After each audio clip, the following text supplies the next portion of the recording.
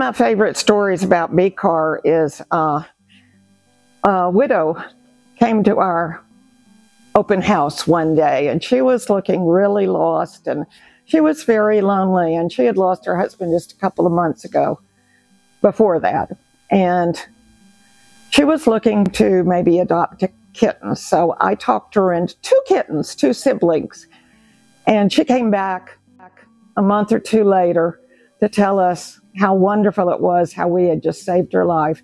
And it reminded me quite forcibly of the fact that we're not only helping these animals, but we're also helping the people who adopt them, that we're making a difference in people's lives. And that makes me feel really good about what we do.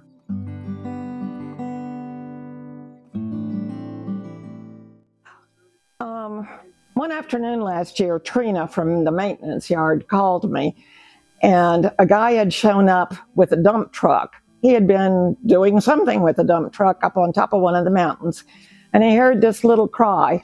And he went back and searched the back of the truck and found this tiny little kitten. Couldn't, it was under a pound, I'm sure. And so he took it to Trina and wanted to know what to do. And she called me, and I, of course, ran over there. And I just got so tickled because there was this big mountain of a man, just a big, burly man. And he was holding this tiny little kitten up against his chest. And he looked so helpless. He said, I don't know what to do. I just don't know what to do. So I took her, of course, and took her home, and we got her vetted, and we found a foster for her.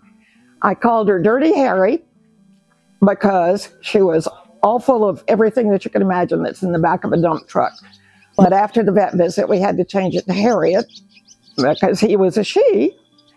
And as I say, we found a foster for her, and she was so cute and so adorable that the foster ended up adopting her.